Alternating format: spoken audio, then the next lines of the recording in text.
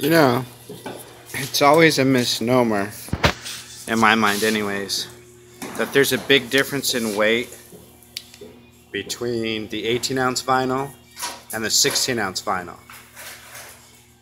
Uh, in the recent years, many manufacturers have uh, have uh, gone to a lesser 16 ounce vinyl with the claim that uh, it's a ginormous weight savings. So what we have here is what we have. A black knit 18 ounce 100 yards. 61 and a half inch.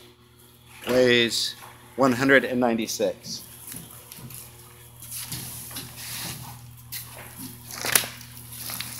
while I remove this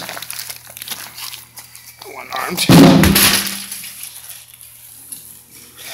Brian here has just added a 16 ounce roll,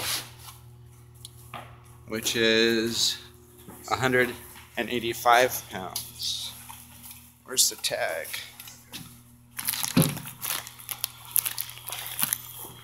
What do we have here? 16 ounce woven, 100 yards, 61 and a half inch. What is that weigh again?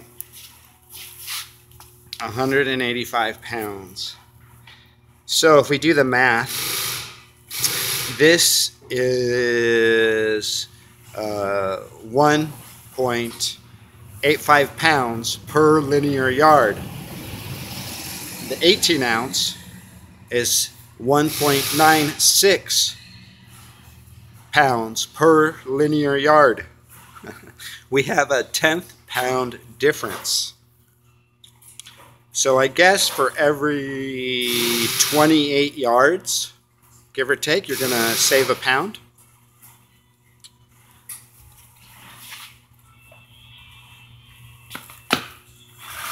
Are you guys being tricked? What do you think? What's your opinion? Between the 16 ounce and 18 ounce.